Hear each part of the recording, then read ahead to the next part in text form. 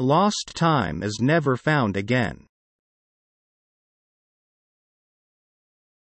Lost time is never found again, is a saying that tells us how important it is to use our time wisely. Benjamin Franklin said this, and it means that once time is gone, we can't get it back. This idea is true for everyone, no matter where they're from or when they live.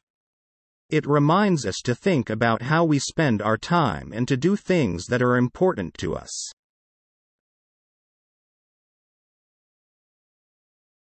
The saying is about how time doesn't last forever. It tells us to be careful about how we use our time and not to waste it. It's like a reminder to do things we want to do and not wait too long. When we miss chances or don't do things we like, we might feel sad later because we can't go back in time.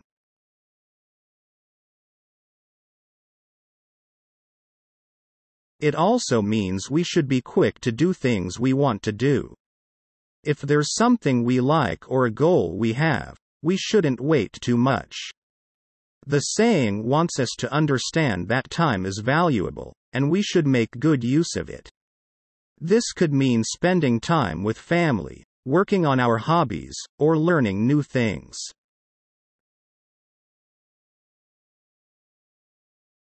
The saying is like advice for how to have a good life. It tells us to balance our time well. We should not only focus on work but also on things that make us happy. This balance is important so that we don't later regret not doing important things.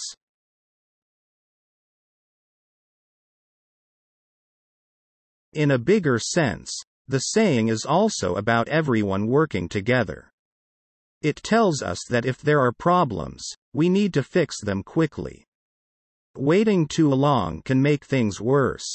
This is true for things like climate change or helping people who need it. It encourages us to act together to make things better.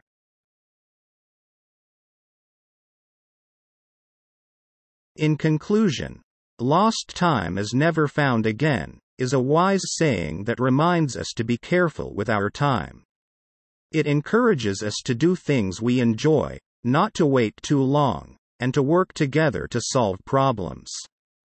Understanding and following this advice can help us live a fulfilling and happy life.